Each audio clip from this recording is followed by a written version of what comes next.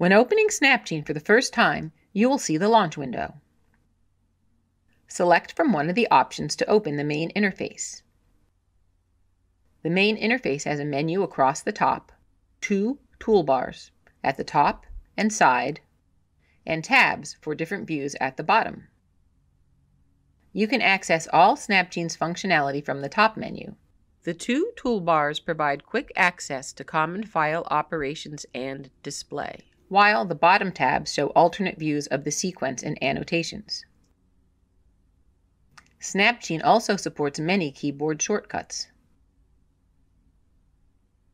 As with other software, the File menu has options for creating, opening, and saving your files. The most commonly used of these are also available via the top toolbar. In the Edit menu, you will find the usual editing tools optimized for working with nucleic acids and proteins. The View menu is home to all of your viewing and interaction options, allowing you to switch between different views of your sequence, hide or show toolbars, change the font size, or toggle annotations on and off. Alternatively, you can access many of these tools via the sidebar and bottom tabs. For annotation tools, access the Enzymes, Features, and Primers menus. Each of these menus contains the tools you need to create, edit, and display each annotation type.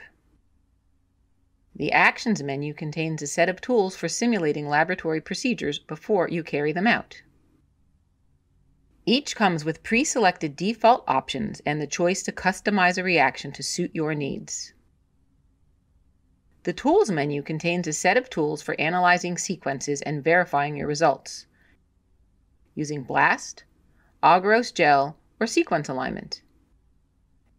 Finally, you can access the History tab to see a graphical history of your DNA construct.